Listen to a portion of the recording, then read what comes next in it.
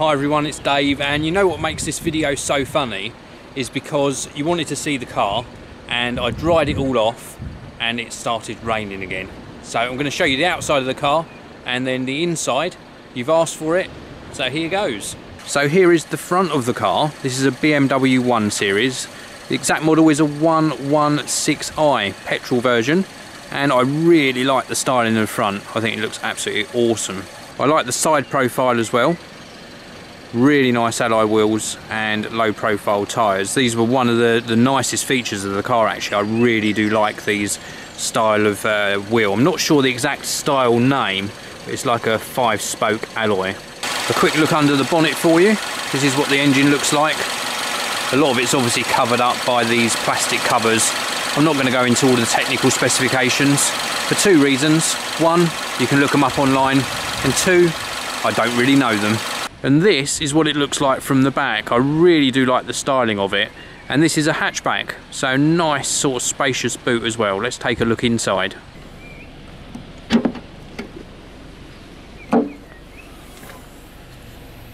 Plenty of room in here.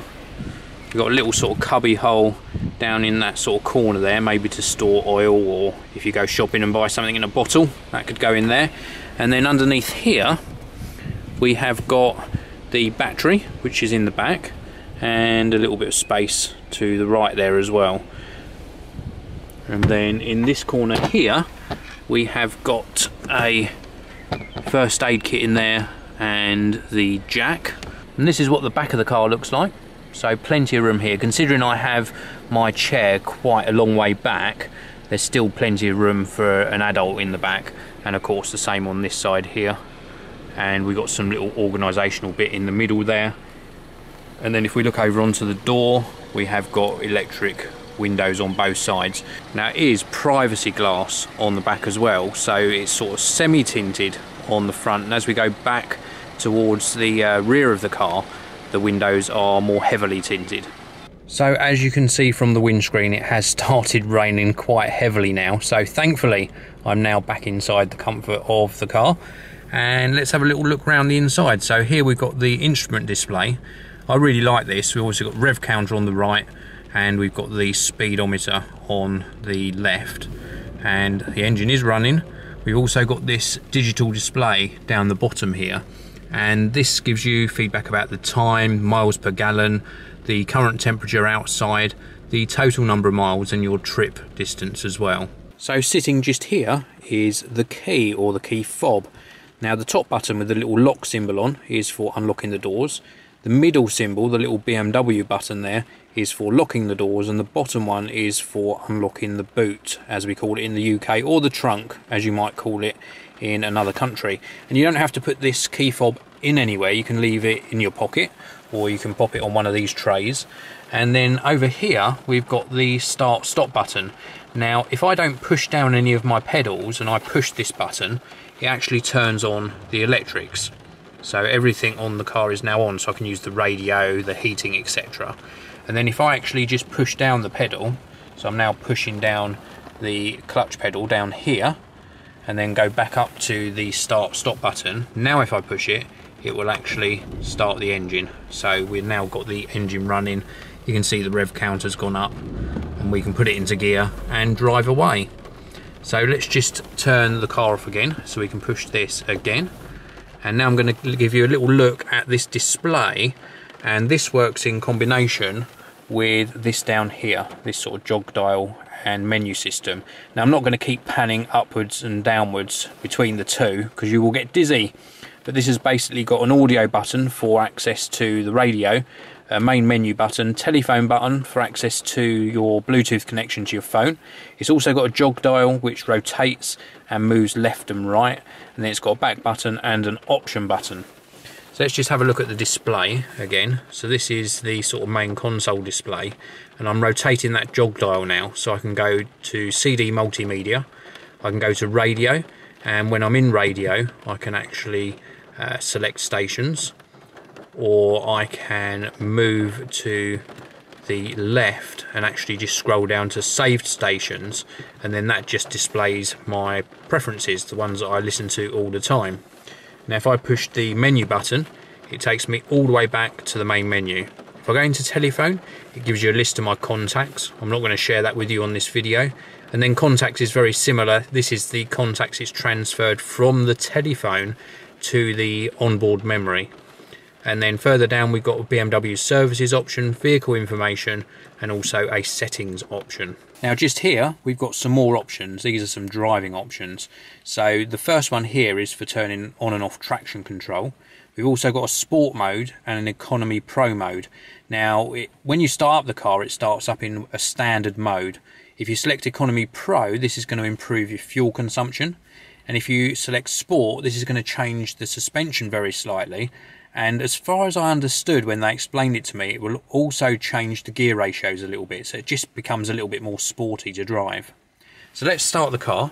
So we're just going to go round and start the car like so and then we're going to go down to these buttons here and I'm going to show you the display as I push these so at the moment we're in standard mode I'm going to push sport and it comes up on the display dynamic driving mode now if I want to change that I can then push down and it will switch it into uh, comfort mode which is the, the standard mode and if I push down again then it will change it into economy pro mode and I can actually configure this mode by using uh, the jog dial to change the dynamics of the car. Now the other features I like are we've got some controls on the steering wheel we can change between various modes alter the volume of the radio for example. We've got a little sort of jog wheel here which we can scroll through options. We can also uh, take phone calls and make phone calls and we've also got a voice control function as well. And then over on this side of the steering wheel we've got the cruise control function so we can turn cruise control on set the speed alter the speed with this jog dial. And then if we interrupt cruise control for example if we have to brake and then we want to resume it we can push the resume button. And then just one other thing I want to show you as well and this thing doesn't seem to be working as I'd expect it there's an auto off button. And what this is meant to do is when you pull up at traffic lights, if you put the car into neutral and take your foot off the clutch, it's meant to stop the engine. Now I had the engine stopped while I was parked the other day and I didn't touch any of the pedals, but when my wife walked up to the car, the engine started.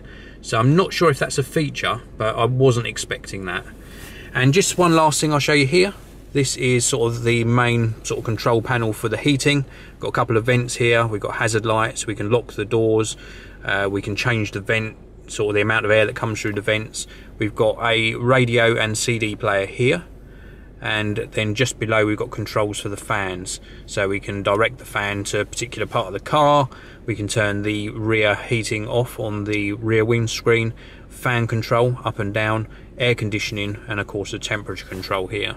So that's it. That is my BMW 1 Series. And I did this video because so many of you were asking. I don't normally share details about my car on my channel for some reason, but you asked for it, so there you go. In closing, I didn't expect to give you such a fully sort of detailed look around the car, but I hope you enjoyed it. The seats, just to touch on the seats, are super comfortable. They're sport seats, so they've got a nice amount of support on the left and right hand side, and you can adjust that as well. You can sort of pull those sides in, give yourself more lumbar support. Really, one of the most comfortable seats I've experienced in a car. Now, I've only driven this car on a test drive and then for two days so far, but I am loving it. I've had a BMW before, I had one many, many years ago I had an old 318. That must have been when I was about 20 years old or 21, something like that. So that's a long time ago. It's like over 20 years ago. And I really loved that car back then, but it was a, a real, uh, not a wreck, but it was in bad condition. It really was. Um, and then I had a, a 7 Series, which again was in really bad condition, but I loved BMW, so I purchased it anyway and the miles per gallon I used to get out of that was absolutely terrible. And then I took a break from BMWs, but I did have one about eight or nine years ago, and that was really nice. Absolutely loved it, but unfortunately, I think I mentioned this to you in a previous video.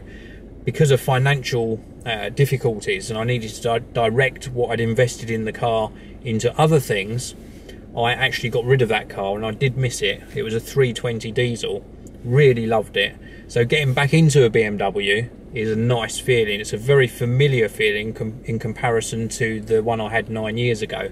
Certainly no comparison to the one I had back when I was in my early 20s. That was so different, not as refined at all, but still a nice driving experience. But I just really like it, I really do. And I'm sort of glad that I changed from the Mini to this.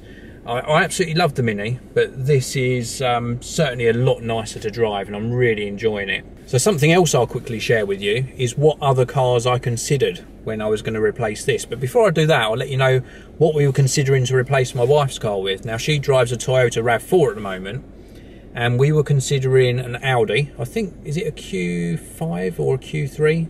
I can't remember the model number now. We were considering that or another Toyota RAV4 or a BMW X3. We thought the X5 was just a little bit too big. So that's what we were looking at for what we call the family car, something we take away on holiday. Um, and something my wife would drive every day. And then for this car, when I was looking at changing the Mini, I considered the Mercedes A-Class. Uh, that interested me a lot. And a curveball here, but I also considered the Toyota Prius, purely because of the technology in it because um, I'm a, a, gadget freak, that really interested me. But I think it was just the design styling that didn't do it for me. So, but it came into consideration. Um, I also really like the Land Rover Freelanders, but because my wife's got a big car, we didn't want two big cars. One, we haven't got room for them on the driveway, and two, uh, I think it's better for me to have a smaller car just because of the type of driving I do.